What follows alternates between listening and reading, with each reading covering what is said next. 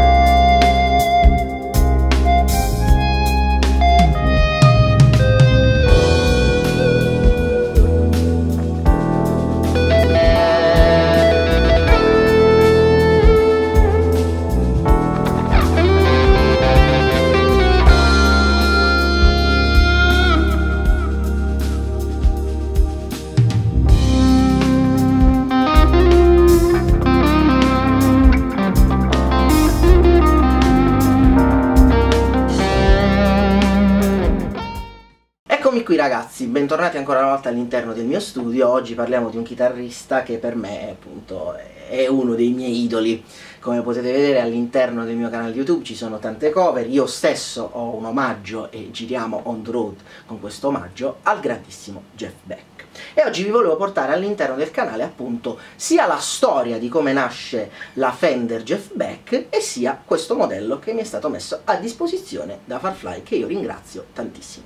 Come potete vedere appunto alle mie spalle c'ho già una Fender Jeff Beck, questa qua è la mia personale nel colore vintage white, è un po' più vecchiotta, credo che siamo nel 2016 come modello, se non ricordo male, veramente non è facile ricordare l'anno di tutte le chitarre che ho a disposizione, però oggi appunto vi volevo parlare di questa chitarra. Innanzitutto cerchiamo di capire la storia, da dove nasce l'esigenza di Jeff Beck di avere un modello signature. Nel 1986 John Hill, che era il rappresentante Fender appunto nella relazione con gli artisti, ci fu una festa dove all'interno ci furono Hank Marvin, David Gilmour e appunto Eric Clapton e alla fine Jeff Beck. Pochi mesi dopo, appunto dopo questa festa, questo incontro, Jeff Beck chiese un suo modello signature per il tour imminente in Giappone. Appunto sapevano la passione di Jeff Beck per quanto riguarda le Ford e quel colore e ci fu un primo modello di questa Stratocaster che viene definito Graffiti Yellow, dove il manico non era rifinito. A Jeff Beck piace tantissimo questa cosa e se la portò in tour. Il manico non era rifinito appunto perché lui voleva un feeling molto vintage, ma una stabilità di una chitarra, diciamo, moderna che gli permettesse appunto di fare tutti i suoi armonici con la leva e non far scordare lo strumento. A lui piacque tantissimo e comunque anche col manico non rifinito se la portò in tour in Giappone. Io vi faccio la storia ragazzi molto in breve, poi vi lascio un link dove vedere praticamente tutta la vera storia con tutti ecco, i dettagli. Successivamente arrivarono un altro modello, un altro prototipo, però che a Jeff Beck non piacque particolarmente, e quello diede la nascita alla Stratocaster Plus. Ok, molti dicono qual è la differenza della Plus con la Jeff Beck? Le meccaniche autobloccanti sono uguali satinate, il ponte e il due viti, e quindi le paragonano. Ecco perché è nata una Stratocaster chiamata appunto Plus. Però a Jeff Beck non piacque, ma comunque la usò per fare il suo famoso disco Guitar Shop, perché lui stesso dice ha un feeling da anni 50 come manico bello cicciotto, ma mi permette di fare tutti gli armonici presente nel disco. Successivamente nel 1991 uscì quel modello, alcuni ricordano il modello viola della Jeff Beck, aveva i lane sensor, ok? Ne aveva quattro dove al ponte potevi selezionare se averli tutti e due o avere soltanto uno, come la copertina appunto di Jeff Beck insieme a Steve Ray Vaughan a quel modello Purple, c'è anche nel video di Mustang Sally insieme a Bud Guy, lui usa quel modello lì,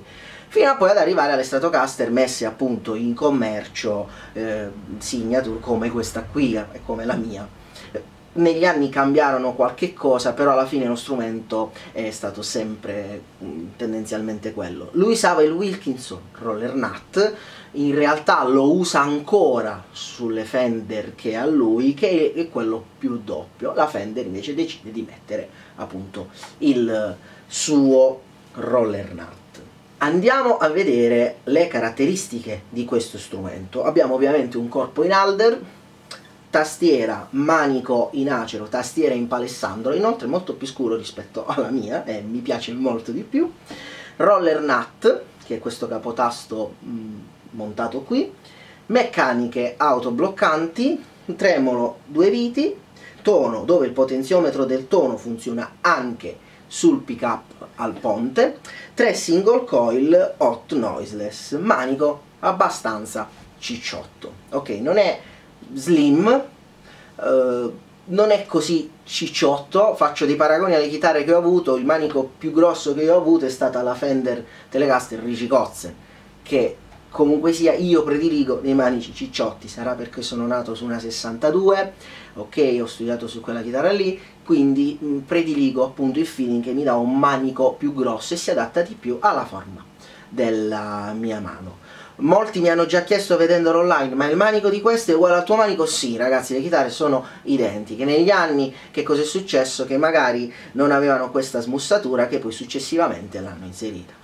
Adesso è facile trovare queste caratteristiche su tante altre Fender. Ci fu il periodo, credo, 2002-2003, non ricordo, che ci furono le Deluxe che avevano le stesse uh, appunto modifiche come meccaniche autobloccanti, roller nut e quindi un po' la Jeff Beck si va a perdere all'interno di questi strumenti. Ancora adesso mi chiedono ma che senso ha prendere la Ultra e non la Jeff Beck? Diciamo che lo strumento è diverso, il feeling è diverso, il suono è diverso, non è un HSS e inoltre in più ha per esempio il Roll Art perché Fender dopo il modello deluxe poi lo tolse e continuò a mettere dei capotasti praticamente normali o come appunto quelli in graffite. Eccoci qui ragazzi, io ve la faccio sentire, vi faccio sentire qualche sample e poi ve la faccio sentire su alcune backing track che ho di Jeff Beck.